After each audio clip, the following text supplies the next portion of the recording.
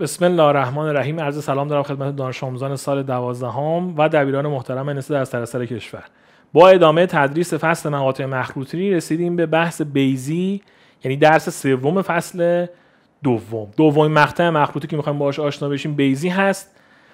در این قسمت برای شما بیزی رو به عنوان یک مکان هندسی جدید تعریف می‌کنیم. با استفاده از همون ویژگی های مکان هندسیش اجزایش رو به شما معرفی می‌کنیم. قطر کوچیک قطر بزرگ رابطه فیثاغورس. طول وتر کانونی و بحث خروج از مرکز بیزی. بیزی بحث گسترده نیست چون بحث معادلاتش اصلا در این فصل بیان نمیشه در نظام جدید. و یعنی شما معادله بیزی نمی‌خونید در حالی که معادله دایره رو خوندید کلی باش مسائل متنوع حل کردیم. ولی چون معادله بیزی رو نمی‌خونیم به خاطر همین تنوع سوالات در بیزی بسیار پایینتر از بحث دایره است. با همین چند تا مثالی که من توی جزوه حل کردم تقریبا یک طور همه نمونه های تستی که ازش بیان میشه رو دیدید به اضافه اون چند تا تمرینی که توی کتاب براتون حل می‌کنم. این قسمت به شدت باید اون تمرین کتابی که من حل می‌کنم و مسلط باشید. حتما از حکم های اون تمرین ها براتون تست در می‌کنم تو کنکور. امسال تو کنکور 1400 منتظر دیدن تست هایی باشید که مبتنی بر تمرینات قسمت بیزی و سهمی هستش. پس توی بیزی درس کمه تیپ سوال ها کمه تمرین های کتاب بسیار مهمه. به راحتی یاد می‌گیرید. به شرط اینکه حکم های تمرین کتاب رو یه بار که اثبات کردید دیگه حفظ کنید و تو تستا به کار ببرید و بیزی رو بهتره کنید. امیدوارم که مثل همیشه سلامت باشید و موفق. خب بچه بریم سراغ بیزی دومین مقطع مخروطیمون که می‌خوایم در مورد صحبت کنیم بعد از دایره که مربوط میشه به درس سوم فصل دوم کتاب هندسه دوازدهم.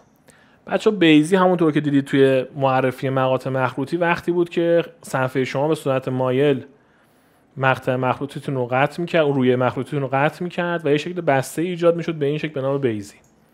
مثل دایره که تعریفش بر مبنای مکان هندسی قرار می‌گیره بیزی هم یک مکان هندسیه بچه ها جالبه بدونید. بیزی مکان هندسی نقاطی از صف هست که مجموع فواصل آنها از دو نقطه ثابت مقداری ثابت باشد. مثل دایره که مکان هندسی نقاطی از صفحه بود که فاصلهشون تا یه نقطه ثابت مقدار مشخصی باشه که به اون نقطه ثابت می‌گفتیم مرکز به اون فاصله می‌گفتیم شعاع. اینجا بیزی هم مکان هندسی نقاطیه که مجموع فواصلش از دو نقطه ثابت مقداری ثابت باشه. اون دو نقطه ثابت رو بهش میگن کانون و به اون مجموع ثابت میگن چی؟ مقدار ثابت بیزی که با دعا نشونش میدن بچه ها نمادش دعاه یعنی MF به اضافه MF فری مساوی با دعاه پس هر نقطه ای مثل M که مجموع فواصلش تا دو نقطه F و F فریم برابر با دعا بشه روی بیزی قرار می‌گیره. یعنی شما هر نقطه روی بیزی در نظر بگیرین مجموع فواصلش تا F و F فریم میشه چی؟ همون دعا. این نقطه هم در نظر بگیریم مجموع فواصلش میشه دو این نقطه هم در نظر بگیریم مجموع فواصلش میشه دو هر نقطه روی این در نظر بگیرید مجموع فواصلش میشه دو همینجا من نکته در مورد نحوه رسم بیزی بگم البته نحوه رسمش رو نمیشه به این سادگی نشون داد. باید با یه نخی تنها چیزی برای شما انجام بدم که حالا اگر تونستیم تو یک ویدئویی برای شما این رو قرار میدیم که ببینید چجوری رسم می‌کنن اصلا بیزی رو. خب دایره که مشخص رسمش شما یک نخ و ور میدارید یه سرش رو دستتون می‌ذارید اینجا. اون سرش هم می‌گیرید به این مرکز یه کما می‌ذارید میشه دایره. پس دایره نحوه رسمش برای ما مشخصه خیلی هم ساده است. توی بیزی هم روش رسم داریم بچه ها. شما اگه یه طول نخ رو در نظر بگیرید یه تیکه نخ. فرض کنید که این تیکه نخ من باشه. فرض کنید طول این تیکه نخ باشه دو طولش باشه دو همون مقدار ثابت بیزی من دو سر نخ رو اینجا چهار می‌کنم ثابت می‌کنم. فرض کنین اف و اف فریم دو تا شستای منن که نخ رو اینجا ثابت نگه داشتن. یه نفر سومی میاد اینجا برای من نخ رو شروع می‌کنه کشیدن. تا جایی که قشنگ صاف وایسه یعنی دیگه اینا آویزون نباشه. قشنگ بگیره بکشه صاف شه. قبول دارید که این MF و MF فریم همون طول نخ منن دیگه درسته؟ من نخ دو سرش اینجا گرفتم بند کفشو نخ اینجا آویزون بوده. یه نفر اینجا گرفته کشیده. درسته؟ پس این کشیده شده یه همون نخه. درسته؟ کشیده شده یه همون نخه بود که آویزون شده بود. طولش که تغییری نمی‌کنه که. من اگه نخوا بگیرم بکشم صاف وایسه که طولش که تغییری نمی‌کنه فقط صاف وایساده. بنابراین ام اف به اضافه ام اف پریم برابر با همون طول نخه. اگر جایی شنیدید طول نخ منظورشون همون مقدار ثابت بیضی یعنی دو آ هست. چون طول نخی که باهاش بیضی رسم میشه برابر است با دو آ یعنی همون مجموع فواصل نقطه ام تا دوتا کانون یا دوتا شست شما. خب. این هم توضیح مختصری در مورد نحوه رسم بیضی که فهمیدید فکر کنم یعنی چی؟ که دو سر نخ اینجا ثابت کنید و بکشید و اینجوری تکونش بدید میشه بیضی رو رسم کرد. که حالا اگه تونستیم براتون یه ویدئویی هم قرار میدیم. بنابراین به مجموع فواصل نقطه دلخواه روی بیزی تا دوتا کانون میگن دعا یا مقدار ثابت بیزی یا طول نخ. این شد تعریف بیزی از جهت مکان هندسی. حالا بریم بیزی رو با هم بیشتر بشناسیم بچه ها. از نظر اجزایش. فرض کنیم که این یک بیزی باشه. من خواهم اجزایش رو به شما معرفی بکنم. روی این شکل با همدیگه همراه باشیم. من همه رو براتون نوشتم. ولی می‌خوایم رو شکل با همدیگه ببینیم. بچه ها به F و F فریم میگن کانون های بیزی اینا که تکلیفش معلومه. به اینا میگن کانون.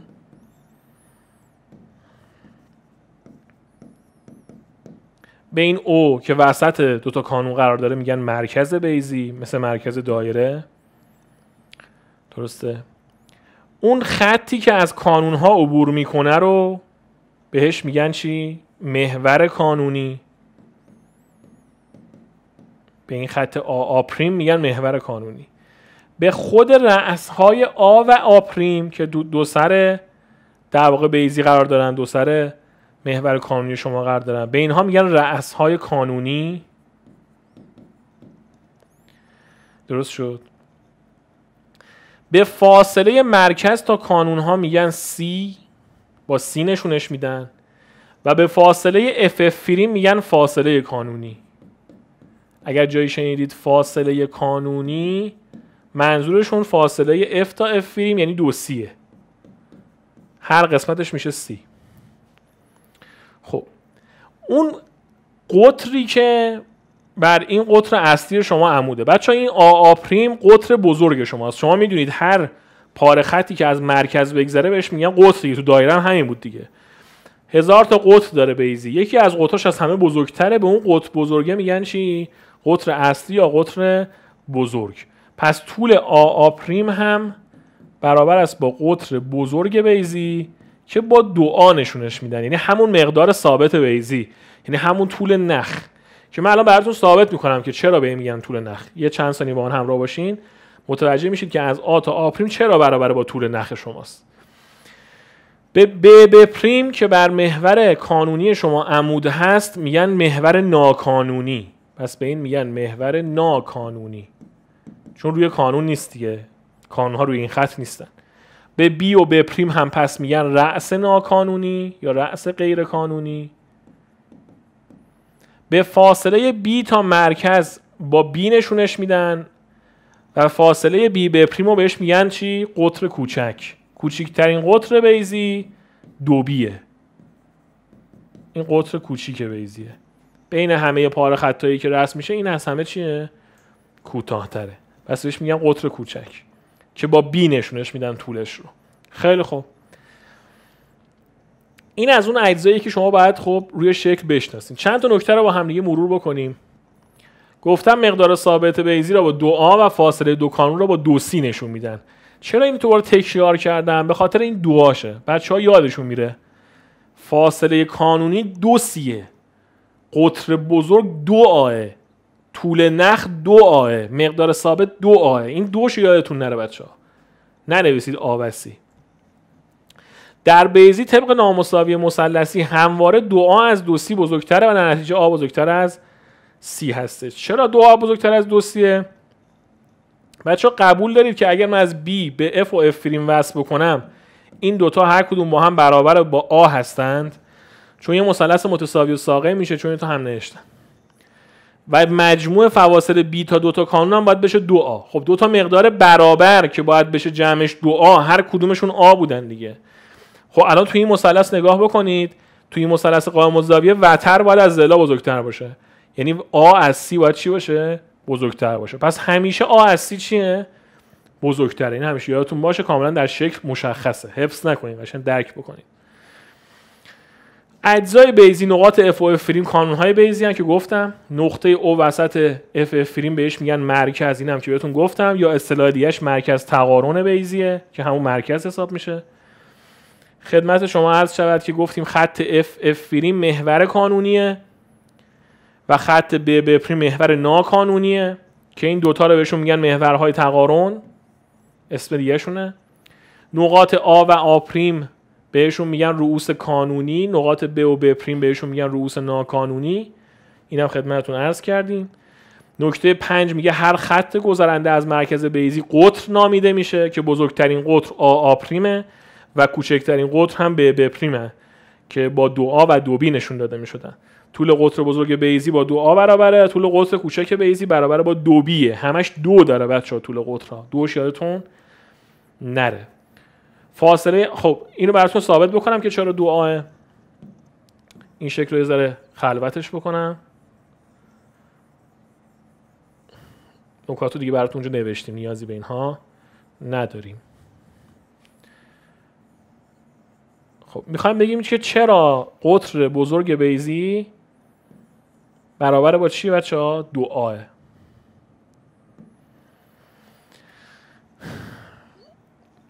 بچه ها الان نقطه آپریم مجموع فواصلش تا دو تا کانون مگر نباید بشود آ ها؟ مجموع فواصل نقطه آپریم تا دو تا کانون باید بشه چی؟ دو آ یعنی آپریم اف پریم. به اضافه آپریم اف باید بشه دو آ قبوله؟ بچه ها قبول دارید آپریم اف پریم با آ اف برابره؟ چون اینجا همه چی متقارنه دیگه. این وقتی محور تقارنه هر چی اینوره با هر چی اینوره مساویه. پس من به جای آپریم اف پریم حق دارم بذارم آ اف یا نه؟ بله. خب تموم شد اثبات شد دیگه. پس آ اف به اضافه آپریم اف پریم آ اف به اضافه آپریم اف پریم یعنی کل این دیگه از اینجا تا اینجا. مساوی است با دو آ.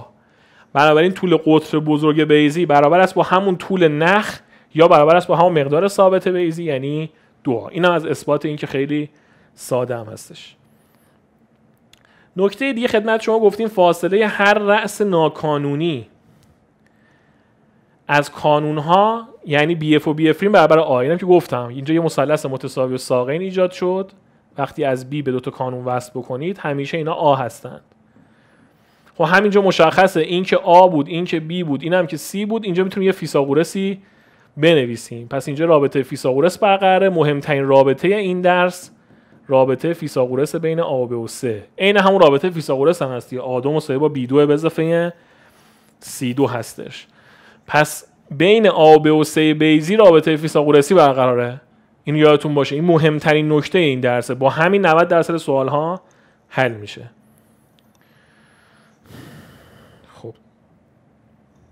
نکته بعدی گفتیم فاصله هر کانون از رأس کانونی مجاورش آ منهای سی و از رأس کانونی غیر مجاورش آ به اضافه سی است. خب نکته بعدی که می‌خوایم خدمتتون بگیم اینه من اینو پاک کنم. فاصله این کانون تا رأس کانونی مجاورش چقدره؟ بچه مگه کل این فاصله آ نیست؟ این دو آ بود دیگه.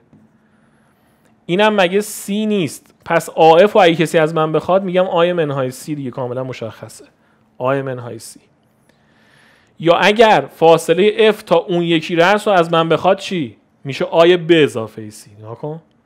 پس فاصله آ اف میشه آ منهای سی فاصله آ پریم اف هم میشه آ به اضافه سی شما این شکل رو بشناسید هر سوالی به شما بدن سریع حل می‌کنید دیگه. کل اینا آ کل اینا بیه این فاصله ها هم که سیه حالا دیگه هرچی خواسته بود براش به دست میاریم. این هم از این نکته. آخریش هم که همون که خدمتتون عرض کردم که مهمترین نکته همین نکته 9 هستش که میگه بین اعداد A و B و C که اینا باید این شکلی باشه A و B و C. همواره رابطه A2 مساوی با B2 به اضافه C2 برقرار است که این مهمترین رابطه بیزیه. 90 درصد سوال ها هم با همین یه دونه رابطه فیثاغورسی حل میشه. این تا اینجا بیزی رو به عنوان مکانیزمی برای شما تعریف کردیم. اجزایش هم کامل شناختید. تعریفاشو توش شناختید. حالا چند تا نکته فرعی باقی میمونه. اولین نکتهمون تعریف نسبتی به نام خروج از مرکز بچه ها خروج از مرکز که با این نشون داده میشه اول کلمه اگزیت. به چه معناست؟ بچه شما می‌تونید یک بیزی رو خیلی توپل رسم کنید. می‌تونید هم خیلی کشیده رسم کنید. قبول دارید؟ خب این کشیدگی یا توپل بودن بیزی یا دایره بودن بیزی با یه نسبتی تو ریاضی بیان میشه. به چه صورت؟ نگاه کنید بچه یه نسبتی تعریف کردن تو ریاضی به نام خروج از مرکز یا سی آوم. سی تقسیم بر آ. این چی به ما نشون میده؟ توی بیزی که دوتا کانون داشتیم این هم که مرکز ما. خب مقدار سی آم که همیشه از یک کمتر بود چون ما ثابت کردیم طبق نامساوی مثلثی آ همیشه از سی چیه؟ بزرگتره. اینجا براتون نوشتم. پس همیشه سی آم یه مقدار کوچیکتر از یکه. از اون یه مقدار مثبت هیچ وقت منفی نمیشه. حالا هرچی این سی آم به سمت یک بره یعنی چی؟ یعنی این کسر من داره صورت و مخرجش با هم مساوی میشه. یعنی چی؟ این مگه سی نیست این آ خب کی سی با آ برابر میشه؟ وقتی شما اف و اف پریمتو چیکار کنی؟ بکشی به سمت رؤوس کانونیت. یعنی اف و اف پریمت برن اینورتر. وقتی این اتفاق میفته فاصله کانونیت بزرگتر میشه به حدی که دیگه خیلی شبیه چی میشه؟ آ میشه. اگه من اف پریمو خیلی برم اونور بیزی من کشیده تر میشه یه شکل این شکلی میشه. پس هر چقدر به این سمت بریم یعنی سی آم من به سمت یک بره یعنی سی من با آی من مساوی بشه کشیده تر بشه بیزی من هم کشیده تر میشه و به خط نزدیکتر میشه. خطی تر میشه. اگر سی آم من به سمت صفر بره وقتی این کس به سمت صفر میره که صورتش به سمت صفر بره یعنی فاصله کانونی صفر بشه. کی فاصله کانونی صفر میشه؟ وقتی دوتا کانون من به هم بچسبن. یعنی مثلا مثل این دوتا کانون خیلی بیان بغل هم دیگه. نکن درسته؟ پس هر چقدر اف و فریم هم نزدیکتر بشن بیزی من توپلتر میشه و اصطلاحا دایره تر میشه. پس هر چقدر این نسبت به یک نزدیکتر بشه بیزی کشیده تر میشه چون داره سی با آ برابر میشه. هر چی نسبت من به سمت صفر بره انگار فاصله کانونی من داره کم میشه و داره صفر میشه. بنابراین شکل منم اف و اف پریمش میفته رو مرکز و دیگه تقریبا شبیه چی میشه؟ یه دایره میشه و دایره تر میشه. این مفهوم رو کاملا باید درک بکنید. علاوه بر اینکه می‌خوایم باش مسئله حل بکنیم خود مفهومش هم برای ما سوال داره توی کنکور. اینجا هم نوشتم هر چقدر این نسبت به یک نزدیک تر باشه بیضی کشیده تره. پس این میزان کشیدگی و توپولی بیضی رو نشون میده. معیاری به نام خروج از مرکز. خروج از مرکز برابر با سی آمه اگر به توان دو برسونید میشه ای دو مساوی با سی دو تقسیم بر آ دو. به جای سی دو گذاشتیم طبق اون رابطه فیثاغورس. آ دو منهای بی دو. آ دو تقسیم آ دو میشه یک. بی دو تقسیم آ دو میشه نوشتیم. اینم فرمول دومشه که اینم بسیار مهمه. پس هر دوی اینها رو بچه باید چیکار کنید؟ یاد بگیرید. هم سی آم و هم رادیکال که منهای بی دو به آ دو. هر کدومش در جایگاه خودش کاربرد داره. یعنی خیلی از سوال ها با اون سریعتر حل میشه با سی آم و خیلی بیشتر از سوال ها با بی آم در واقع حل میشه. پس اگر تو صورت سوالتون تو اطلاعات مسئلهتون بی و آ داشتید از فرمول دوم برید. یه مقدار چون طول میگه شما برید با بی و آ سی رو به دست بیارید با اون فیثاغورس یه مرحله جلو میافتید. بنابراین این فرمول رو هم حتما حفظ بکنید برای خروج از مرکز. یا سی آم یا رادیکال یک منهای بی دو به آدو. خیلی خوب. این هم از تعریف خروج از مرکز. بریم با هم یه چند تا مثال ببینیم که اینا برامون مرور بشه. مثال اول. در بیزی با خروج از مرکز 3 چهارم فاصله کانون تا نزدیکترین رأس برابر با دو است. ما می‌دونیم فاصله کانون تا نزدیکترین رأس همون آی منهای سی هستش. تو شکل شما نشون دادیم گفتیم تو این فصل مهمترین راهبرد ما رسم شکله. فاصله کانون تا نزدیکترین رأس می‌شد چی؟ آی منهای سی کل این آ بود. اینجا هم سی بود. از هم کم که می‌شد. آی منهای سی یادآوری کردم. طول قطر بزرگ بیضی چقدر است؟ پس سه چهارم به من داده. نسبت سی به آ سه چهارمه آی منهای سی هم به من داده دو. دو تا اطلاعات به من داده. خب دو معادل دو مچول این رو حل می‌کنم دیگه. اینجا می‌تونم به جای سی بذارم چی بچه ها؟ سه چهارم آ. به جای سی می‌ذارم سه چهارم آ میشه آمن های سه چهارم آ مساوی است با دو. پس یک چهارم آ می‌شود دو پس آ می‌شود هشت. چی می‌خواست سوال؟ طول قطر بزرگ. ببین آ رو نمی‌خواست. بچه ها هشت رو به دست میارن می‌زنن گزینه یک غلط هم می‌زنن بعد میسوزن. تا حالا سوختی؟ اگه سوخته بودی حرف منو گوش می‌کردی. وقتی میگه طول قطر بزرگ یعنی دو آ. دو دو دو دو. نه آ.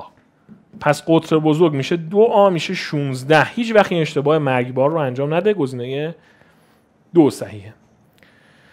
مثال دیگه رو هم ببینیم. میگه اگر خروج از مرکز بیزی یک دوم باشه. ایشو داده یک دوم. طول قطر کوچیکش یعنی دو بیش شده دو. فاصله کانونی یعنی دو سی چقدر است؟ خیلی خوب. بچه ها از فرمول دوم بیزی بریم اینجا. برای ما ساده تره چون بی رو به ما داده. بی الان یکه دیگه. بیزی خروج از مرکز فرمول دومش می‌شد. یک منهای بی دو به آ دو. بی هم که داریم یک. از اینجا چه اتفاقی میفته یک چهارم مساوی است با یک منهای یک به روی آ دو. یک به روی آ دو می شود سه چهارم. پس آ دو مساوی است با چقدر بچه ها؟ دو رادیکال سه سوم. البته آ دیگه چون جذرش هم گرفتیم دیگه. خب آمو میشه دو رادیکال سه سوم. آ که به دست اومد بی هم که دارم چی رو می‌خواستم؟ فاصله کانونی رو می‌خواستم. یعنی سی رو می‌خواستم. خب بیام تو فیثاغورس خودمون. سی دو. آ دو مساوی با بی دو به اضافه سی دو بود. پس سی دو میشه آ دو منهای بی دو. آ دومون که می‌شد. چقدر بچه ها چهار سوم. بی دومون هم که می‌شد یک. چهار سوم منهای یک می‌شود یک سوم. پس سی میشه رادیکال سه سوم. پس دو سی میشه دو رادیکال سه سوم. یعنی گزینه یک صحیحه. خب یه بار همش برای اون مرور شد دیگه. یه بار هم از فرمول دوم خروج از مرکز رفتیم. بی رو داشتیم. آ رو به دست آوردیم. آ رو گذاشتیم تو رابطه فیثاغورس بیضی و از این رابطه سی رو به دست آوردیم. حالا فاصله کانونی می‌شد. دو سی یه ضرب در دو کردیم. شد دو رادیکال. سه سوم حواسمون به این دعا هست که یه وقت تو چالشون نیافتیم. چون می‌بینید تو گزینه ها هم دو رادیکال سه سوم هست هم رادیکال سه سوم. توی این منجلاب فرو نرید هیچ وقت. مثال بعدی